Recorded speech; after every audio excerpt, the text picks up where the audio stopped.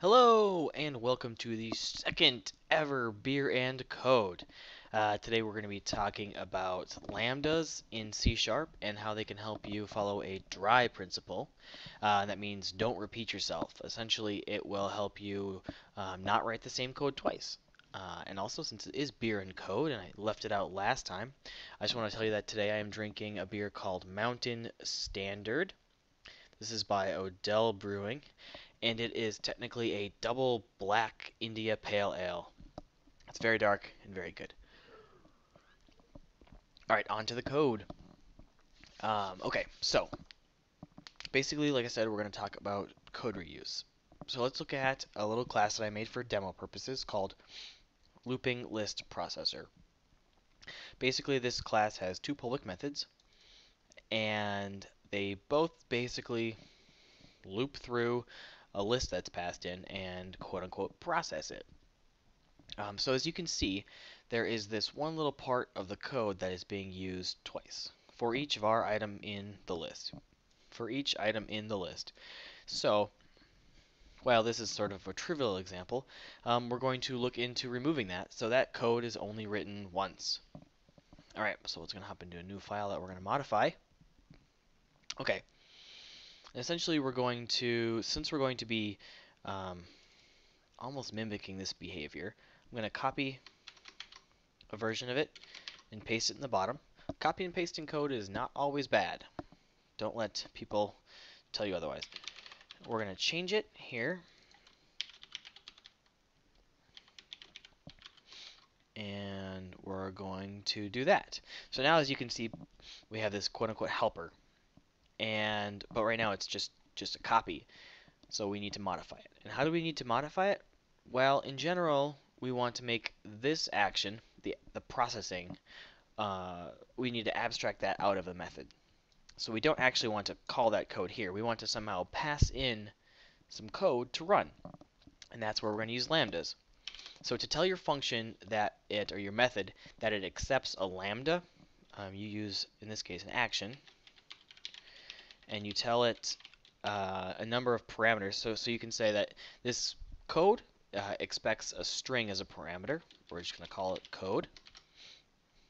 So now, in here, instead of actually telling it to console write line, we're going to say, hey, run whatever code is passed in and give it the item. And that's it.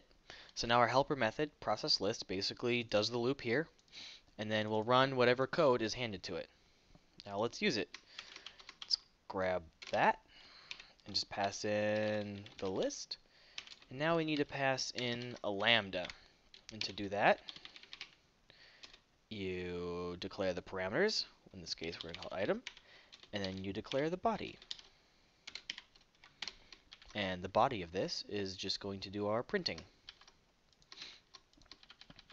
Boom. Okay, so now, in this case, it's not any shorter, but we're not calling the loop anymore. We're not doing the loop. We're just calling, all right, process the list and do this action with each each item. So do do this action with each item. Now it's generic. All right, so now let's do the same thing in our process adder list. All right, let's grab our helper method, drop it in there, give it the list, and now we need to tell it to do this. All right. That's the action that we're going to do. Time we have an int. Some of you may already see a problem with this code. All right. So now we're going to loop through the list. Or we're gonna we're gonna call process list. We're gonna pass in our list, and we're gonna give it some code to run. Should look very similar to up here and then at the end we, we print out the sum. Okay, now the problem here is that our process list method that we've declared expects a list of strings and an action that takes a string. Well, here we have uh, a list of ints. So if I try to compile this, it'll tell you right here, cannot convert a generic list of ints to a generic list of strings. So, how do we fix that? Well, we'll just make this method generic. And so we'll give it a type parameter. and then we'll make each of these items generic. So now you can pass in a list of any type T. And then uh, you, it, depending on the, the type T you pass in here, the action, your code will take that type. So in this first case, we pass in a list of strings. So the T is a string. Uh, and then correlating, the lambda expects a string. So if you look over here, we're passing in a list of ints. Uh, the lambda expects an int. So now I'm going to rebuild it. And everything succeeds. Yay! Live coding. I'm glad that turned out. So you're like, um, that was neat, but that's more code than we had before. So this is before, it's at 30. This is after, it's at 38. Yes, this example is sort of contrived, um, but let me show you where the benefit comes in. All right, so now let's go back to the original. This is where we, where we, at where we were at before. And let's say we want to add the functionality to this code that every time we loop through a list, we print out the current index that we're processing. So I would do that by doing this. Set up a count. Um, and then basically say index count plus plus. All right. So now we did it here. So we have a count variable and we're going to increment the count and print it every time. Now we need to do that in the other method. You can see sort of probably where I'm getting at that I'm copying and pasting code. Now we have the same code again here, here, here, here. So hopefully our new version um, fixes that. Alright, so let's look at the new version. In the new version, we just have to do it once. Uh, right there, we do the count, and I'm just going to go back over to here and grab that piece. Boom. Okay, so now we only added the code here, count, and then the printing and the counting.